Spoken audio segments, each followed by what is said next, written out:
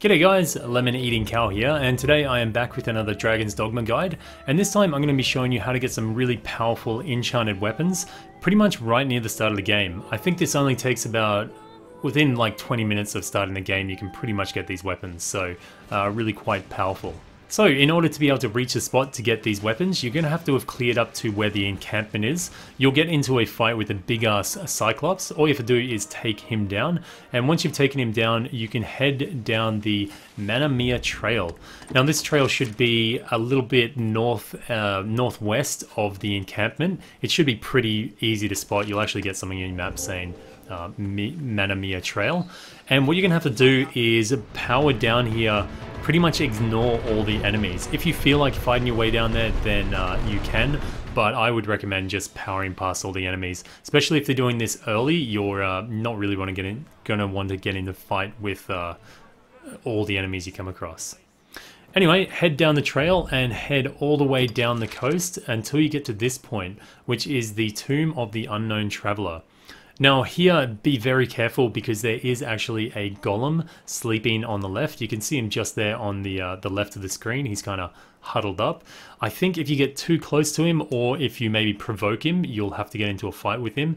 And I would not recommend that because he will most likely uh, smash your face in just skirt around him and come to this point where you see a, a sword in the stone. I guess it's like a, uh, a King Arthur reference or something. And before you get up there and loot that sword, what we're going to do is save the game. Now, it's very important that you save it before you do this because the the loot point here only has a random chance to spawn one of these weapons. It will always give you a weapon, but uh, not always the one you want. So make sure you save your game, and once you've done that, all you have to do is climb up and loot that pile. Now, there is a chance you'll get one of four different weapons. The weapons here are the Eden's Warden, which is a one-handed sword with a fire enchant. It has a really good mix of physical and magical attack, so uh, really quite good at this point in the game. There's also a set of Scalding Razors, which is a pair of daggers for the Strider class.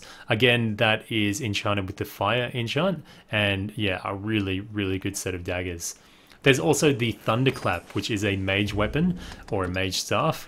I personally could not get this one to spawn or I could not loot it. I, I don't know if it has a very, very rare chance to drop or it's not in here anymore, but I tried this maybe 20 plus times and I could not get the Thunderclap. I hope you mages have a better chance than I do, but yeah, I can't really show you the stats for it because I've never obtained it myself. But by far the most frequent one you will see is the Steel Greatsword. Now, this is a two-handed weapon for the warrior class, so I doubt you'll be able to use it at this point in the story, but it may be a good thing to hang on to. But definitely out of my, I probably got about, uh, I would say 50%, maybe 75% of my loots was actually the Steel Greatsword, which is uh, quite a shame. So if you find you do get a piece of loot that you don't want, uh, say you're a mage and you get the sword and you don't want it or you can't use it, then all you have to do is exit out of your game or go to your menu and go back, return to title without saving. Do not save your game, just go back to the main menu and then reload that save that you just made. You'll find that you're straight in front of that pile again, and all you have to do is climb up and loot it again. Every time you do loot it, it will give you a random piece of gear. Now, I have confirmed that the other three weapons drop here, but I cannot confirm that mage stuff, so again, I, I wish you guys luck on that one. So I do know that this pile does respawn. I don't know what time frame it takes though. So if you loot the item and you think, oh, I want another one of those or a different item from it, you're gonna have to go away and sleep at a camp or an inn for a set number of nights, but I'm really not sure how many nights at the moment. If someone does know the number, then if you could leave that in the comment section below, I'd really appreciate it. So that about covers that guide. I hope it was a quick and easy one and it should give you quite a good boost at the start of the game. As long as you wear it with the DLC armor, now you've got a good weapon, so you should be pretty good to get into the story. Anyway, if this guide did help you, then please leave a thumbs up. If you got any comments or suggestions, then leave them in the comment section below. And if you haven't subscribed already, then please do so. This has been Lemon Eating Kow. Moo.